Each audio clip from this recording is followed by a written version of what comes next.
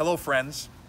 As we enter the season for Thanksgiving, it is so easy for cliches to creep into the conversation. For example, like these We are to have an attitude of gratitude. Easier said than done. Or how about this tired old saw?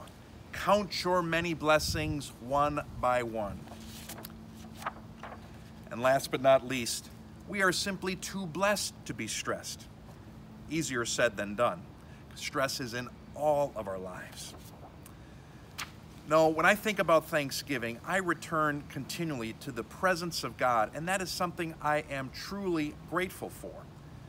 You know, one of the best expressions of Thanksgiving that I have found comes from the New Creed, which comes to us from the United Church of Canada.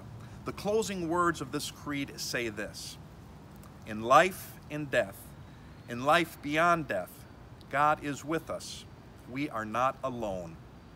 Thanks be to God. Indeed, for the enduring presence of God's love in our lives, for the ways that God walks with us day by day, that is something to truly be grateful for. Have a happy Thanksgiving.